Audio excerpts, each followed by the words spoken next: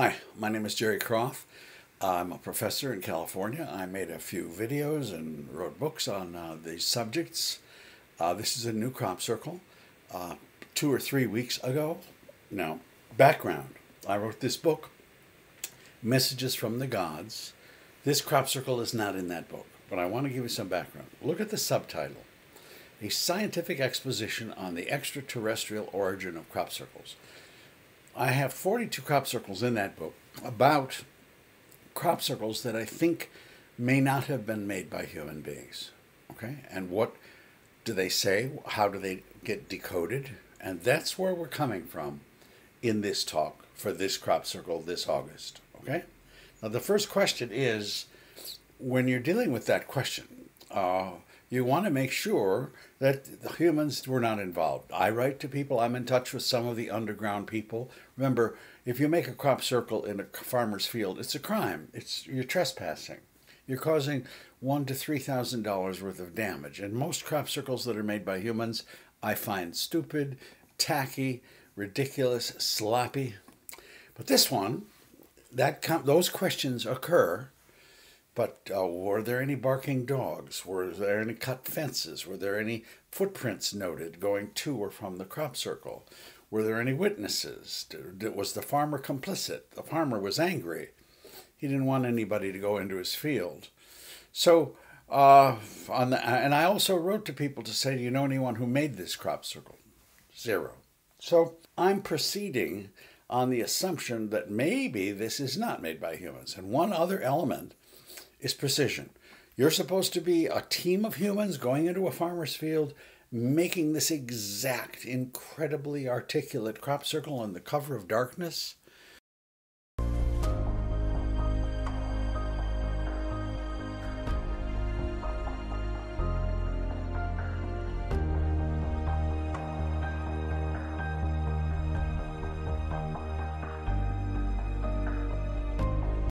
So nobody stumbled, nobody fell, nobody crushed some of the wheat. Nothing. Perfect contours. Everything is perfect in the middle of the night. Okay, well, the next question is uh, Are there any internal measurements that you could make that would suggest maybe there's something peculiar here? Well, the farmer wouldn't let anyone in. There were only drone photos. But I took a photograph and blew it up, and I noticed something. I noticed that if you drew a line from that nucleus to that nucleus to that nucleus to that nucleus to that nucleus, all the lines were exactly the same length to the millimeter in my photograph. So, how do you do that in the middle of the night uh, over many meters of crop circle? Well, the next question is what if? What if this wasn't made by human trespassers and vandals? Uh, what would it be saying? Okay. Now, I, there's a place called the Crop Circle Connector, which publishes articles and commentary about uh, various crop circles. And this one, there were a number of theories, there always are. It's a planetary clock, someone said. Uh, it's a sun and five planets. Uh, it's a comet. Another person said it's the age of alchemy uh, and the age of Aquarius. Another said it's a Venus pentagram. Another said it's so there to awaken the divinity within you. Well, I didn't find any of these uh, theories compelling. Uh, I like when a, your theory fits the crop circle, and uh, getting a close fit is, uh, to me, a good interpretation. So, more background. In my book in 2010, I saw this crop circle and wrote about it. I thought that was boron a the fifth element, the periodic table, uh, a nucleus, five electrons. Why boron? Well, uh, boron is exotic, it's rare, but it's used in nuclear fusion research. And I thought, hmm, that's kind of an interesting message. If there are alien intelligence sending us commentary about something. Now, I want to go to another crop circle, still background. This is 2017. That's in France. Now, if you look in the center of that thing, you'll see a bit of a smudge. That's a person standing there. Okay, that gives you an idea how gigantic that crop circle is. So I noticed that hydrogen has one electron. That fits. I noticed that helium has two electrons. That fits. So we have hydrogen and helium in a crop circle that is larger than a football field and wider than a football field. Why? Where, where do hydrogen and helium shake hands but in nuclear fusion research?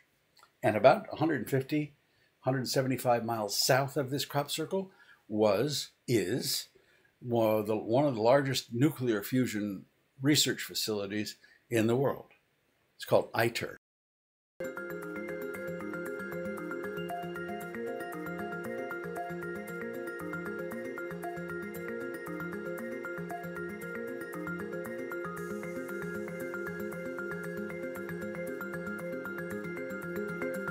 Imaginez que l'expérience soit concluante, qu'elle puisse trouver demain des applications industrielles. Nous aurons mis au point là une énergie non polluante, décarbonée, sûre et pratiquement sans déchets, qui permettra tout à la fois de répondre aux besoins de toutes les zones du globe, de relever le défi climatique et de préserver les ressources naturelles.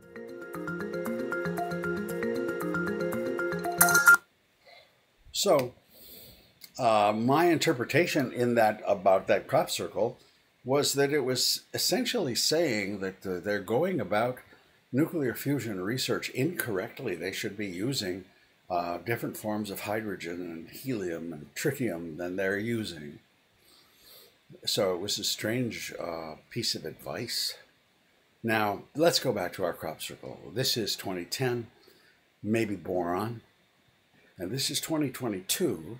If it's boron, they're telling us a lot more about it than they did 12 years earlier. They're showing us interrelationships between, if these are electrons, and the nucleus, right? So let's take a look at a couple properties. First, there are some weird spins in this crop circle. You notice you're coming in counterclockwise, but you come out clockwise. Same thing down below. You go in counterclockwise, and you come out clockwise. You see that? So the spin is reversing. Now, if those are electrons, they seem to be interacting with the nucleus, but they also seem to be interacting with other electrons. Now, do electrons do that? Electron spin is interacting with the nucleus right there. You see that? Now, but the also the electrons are interacting with each other. You see that? So do do those do electrons do that or am I on on the wrong path? Is this not boron? So that's the question that I'm starting to pursue. Okay? That's where electrons are interacting with other electrons. All right, what do you make of all this? Well, I'm a professor of psychology. What do I know about physics? So, if you're a professor, you can write other professors, and they are polite sometimes and will write back to you. So, I don't mention crop circles because if you do, you're going into their spam folder. But I asked them questions about boron, and here it is. I wrote to eight nuclear physicists who are interested in boron research in preparation for this talk. Not all of them replied, some did. Here's the question Dear Professor, I know that boron is being studied for its potential in fusion research, and I know boron has five electrons. I'd like to ask if the spin of the electrons in boron research has received attention. Is it important? Is boron spin relevant to fusion research? And if so, how? Finally, is it possible the spin can be reversed as in clockwise and counterclockwise? Sincerely yours. Well, I got a couple answers. One from the University of Michigan, a professor of nuclear physics. The spin of electrons on boron and other atoms has received attention. And if you somehow flip the spin of one of them, you'll put the atom into higher, a higher energy state. I don't know what that means, but I think I'm still on the right track. So it's time to look at some literature reviews and do their homework. Now, I want you to be prepared. A little patience here to do. So We need to do homework to find out because unless you're a nuclear physicist, you're in the same boat that I'm in. Okay. Hydrogen boron fusion might be the answer to nuclear fusion. One article. It says a nuclear fusion reaction is the holy grail of limitless energy as produced by our own sun. However, it seems we're always a few years away from actually being able to generate energy from highly volatile reactions. This is where HB11 steps in, also known as hydrogen boron fusion. The technique involves employing naturally abundant hydrogen and boron, B11, coupled with special lasers to start the fusion process. The process does not require incredibly high temperatures, as in the case of deuterium tritium fusion reactions. Okay, I understand a little of that. Here's a doctoral student giving us an update of an article that was published at an almost exact same time as the crop circle. My name is Sid Cowley. I'm a PhD student studying at the University of York and working on divertor plasma physics at the Culham Center for Fusion Energy. Today is Friday, the 26th of August, and I'm very pleased to give you your weekly fusion news update. Story Meet Copernicus, TAE's planned billion degree hydrogen boron nuclear fusion reactor. The second story today comes from Interesting Engineering and covers TAE Technologies, a private fusion firm and Fusion Industry Association member aiming to generate energy using hydrogen boron fusion reactions. The primary benefit of using this fuel mixture is that it's aneutronic, so it doesn't produce many neutrons, which are usually harmful for the surrounding material. The main challenge to this hydrogen boron approach is that to efficiently fuse those two nuclei together requires incredibly high temperatures. This article reports that TAE's current demonstration device, Norman, successfully achieved a plasma temperature of 75 million degrees Celsius, which is more than two times greater than what Norman initially aimed to achieve. Now the company will fund the initial construction of Copernicus, their next generation reactor, which aims to maintain a plasma temperature of nearly 100 million degrees Celsius. To put that into context, that is incredibly hot. It is more than six times hotter than the core of our actual sun. Okay, uh, a little more literature review here. This is an article called Boron and Nuclear Fusion. One clean fusion process without neutron prediction is the fusion of hydrogen with boron isotope. Boron 11 plays a vital role in creating the conditions necessary to release energy in fusion experiments. The boron reserves, estimated to be over a billion tons, could power the planet for 3,000 years. Interesting. Another one, the fifth element. This is the last one. A string of boron compounds in exotic bonding states have turned the element's behavior on its head. The renaissance in boron chemistry is all the more remarkable. Boron definitely has more surprises awaiting discovery. Okay, so where does that literature review leave us? Well, we need to link the crop circle more closely with boron if this is really a crop circle about boron. Let's start with electronic spin. We see it spinning clockwise, we see it spinning counterclockwise. Do borons, electrons do that? Watch this video. Apart from moving around the atomic nucleus, electrons spin on their own axes. This spinning motion of the electrically charged particle, called electron spin, generates a magnetic field. There are only two possible directions of spinning motion for an electron, clockwise and counterclockwise, and they are represented by the electron spin quantum number ms.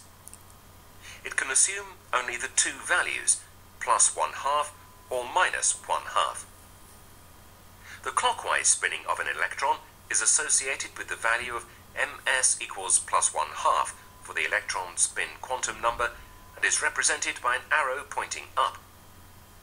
Counterclockwise spinning is associated with the value of ms equals minus one half for the electron spin quantum number represented by an arrow pointing down. So that's entirely consistent so far with the crop circle. The electrons spin clockwise and counterclockwise with boron or with other atoms, and they, they do the same in our crop circle. So we're still on the right path. I'm not giving up yet. Saying it another way, it's called spin orbit interaction at magnetic moments over my head probably over yours, but let's see if we can understand it. Now, what is the spin orbit interaction? Let's go back to our atomic model. So, in the atomic model, you have electrons revolving around the nucleus. Now, electron is a charged particle. When the charged particle revolves around the nucleus, it has an orbital angular momentum. It also has a magnetic moment associated with its orbital motion. Now, electron is also spinning on its own axis, and because of its spinning on its own axis, it has a magnetic moment. So, the electron has a magnetic moment due to its orbital motion it also has a magnetic moment due to its spinning on its own axis. Both these two magnetic moments can interact with each other. In fact, when these two magnetic moments are in the same direction, it is seen that the energy of that kind of a system is higher and when the magnetic moments are in opposite directions, the energy of that kind of a system is lower. This is known as spin-orbit coupling or spin-orbit interaction. Okay, well, we're still on the right path, but here's the point what I'm trying to explore this crop circle. The crop circle is showing the electrons interacting with each other. Do electrons do that? I'm talking about this. You see that? That's one electron interacting with another. I don't know enough about electrons to know whether they do that. Now, I have a physicist talking about that, and it's so much over my head. I thought I would just show you because we'll all laugh together because we just don't understand what this guy's saying. But I think he says something like under certain quantum conditions, electrons interact with each other. Listen carefully. I'm talking about this interaction. Between different atomic orbitals. However, fundamentally, the electrons were not interacting with each other, and we could, we could understand the physics of these problems in terms of the single particle energies and single particle states. We saw how, for example, we can do a simple Fourier transform of the Hamiltonian operator to bring it into a diagonal form for many periodic lattice structures and understands the physics in terms of a simple band structure. For truly interacting problems, where the electrons see each other through the Coulomb interaction, this is not possible, and we need to resort to much more sophisticated uh, techniques to understand the underlying physics. What are the underlying physics? Well, for example, it's possible to have an interaction-driven transition between a metal and an insulator, the so-called Mott transition. We'll discuss certain models of interacting fermions on the lattice, in particular the so-called Hubbard model, which treats the Coulomb interaction as very short range. It assumes that the interaction is dominant when you have uh, electrons of opposite spin occupying the same orbital, in which case you have a strong repulsion, Otherwise, the electrons do not uh, interact with each other at longer ranges. I didn't understand much at all, but I did detect an implication that intera- electrons interact with each other. Now, if they don't, then I need to just drop this boron interpretation of the crop circle. But because the crop circle is showing us if these are electrons, they are interacting with each other. Well, I found a physicist who wrote an article called Electron Electron Interactions. Our first speaker this time will be Charles Epstein. Uh, from Massachusetts Institute of Technology, which is a fine institution, where he's been majoring in experimental particle and nuclear physics under the guidance of Richard Milner. Um, he did his practicum at Lawrence Livermore National Lab and will talk to us about electron electron interactions. Charles? Uh, thanks so much for the introduction. I'm very happy to be here today to talk to you about uh, my thesis work, which has been studying the electron electron interaction. Okay, so that seems to. This guy works in fusion research at the Lawrence Livermore Laboratory, okay, where they're experimenting on fusion. And he's talking about electron electron interactions. So it seems that electrons, under certain conditions, interact with each other. So far, we're still on the right path. But the question is now the crop circle shows electrons interacting with the nucleus. It, do they? I'm talking about that. Does electron spin have anything to do with the nucleus? That thing. Well, let's find out. In quantum physics, the spin orbit interaction, also called spin orbit effect or spin orbit coupling, is any act interaction of a particle spin with its motion. The first and best known example of this is the interaction between the electron's spin and the nucleus's electric field. That sounds like an interaction between the electron and the nucleus to me. Okay, but we have an element in the crop circle that's mysterious and also beautiful. Look at this. Look at this shell around the nucleus. Do you see how difficult that would be to do in the middle of the night with wheat? But they did it, or whoever did it. They put a shell around the nucleus. And I noticed boron, see that black line? Boron, does boron have a shell? I don't know what I'm talking about, but I'm asking a question. Does boron have a shell? Hello once again. In this video, I wanted to briefly discuss the shell model structure of the nucleus. So the shell model structure of the nucleus is somewhat similar in a sense to the atomic structure. So, so it appears that there is a shell around the nucleus. Hello, today we're going to look at a basic introduction to the nuclear shell model. The shell model is one of a number of models used to describe the nucleus.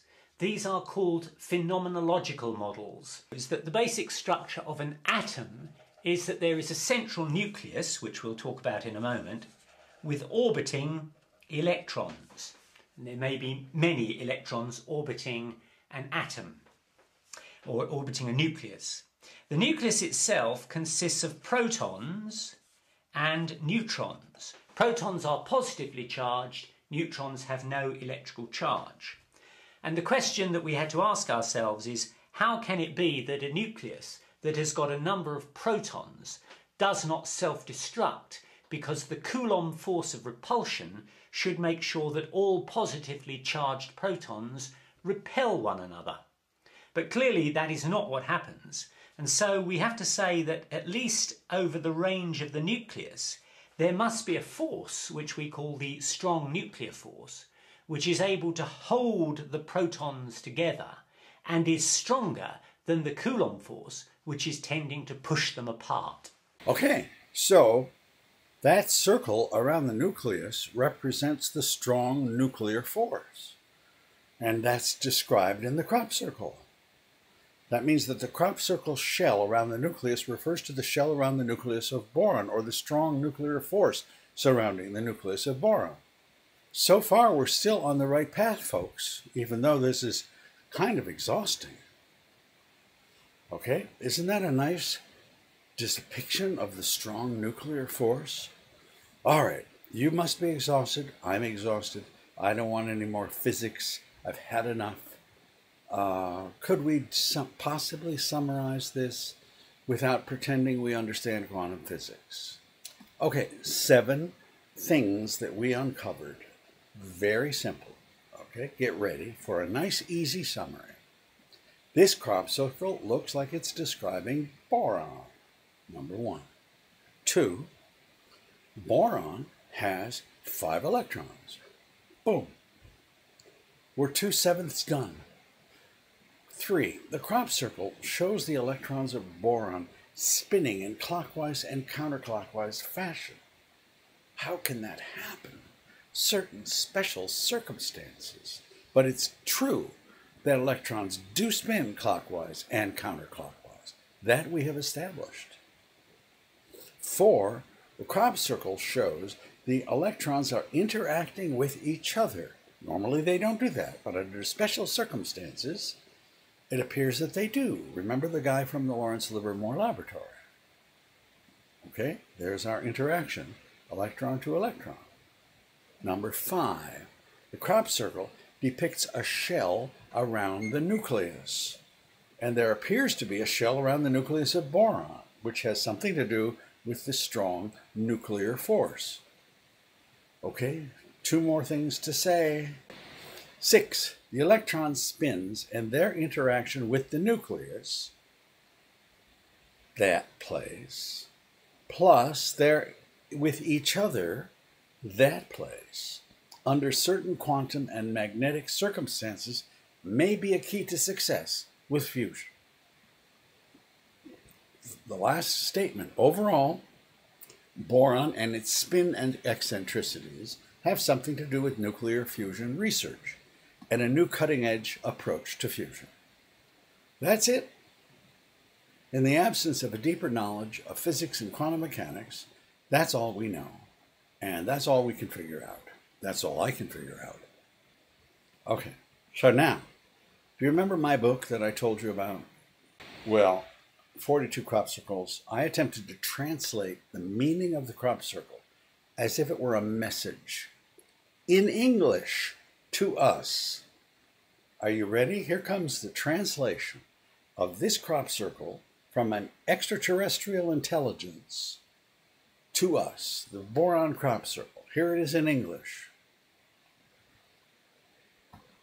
Pay closer attention to boron. Study spin orbit coupling electron interactions with the nucleus, the strong nuclear force, as well as the quantum conditions under which its electrons can interact with each other. This will aid your species in its search for nuclear fusion and sustainable energy for your planet. Thank you, E.T. I told you this was weird. I guess I didn't tell you this is weird. This is weird. Okay. Now, I have a final lament. And the lament is this uh, I'm not a physicist. You're not physicists. We're trying our best to figure things out. We're trying to decode it. We recognize that 99.9% of academia says, silly, stupid, do not go there. Don't look up. Do not try to decode a crop circle. You'll never get tenure. We don't want to publish anything you're saying. You're crazy if you do. Ignore it, please. Well, just fantasize that you had 20 physicists who were interested in nuclear fusion and boron, and they sat around a table for two hours and they looked at this crop circle and they asked the question under what circumstances with our magnets and our fusion would boron behave in this way, spinning this way, spinning that way, interacting here, interacting there? Under what conditions could we put boron, which would produce what we see described in this crop circle? They might say after two hours, this is silly. Good, we'll, we'll discard that. Or they could say, my God, there's something here that we haven't thought about. Okay? I think it might be telling them something they don't know. There's enough circumstantial evidence in this talk to say there might be something going on with boron that you might be missing. That's the purpose of this video. All right. So that's the book. Uh, it's available on Amazon. Published a white paper about this crop circle on the crop circle connector. If you go to my website, you can find it as well. And uh, thank you very much for watching.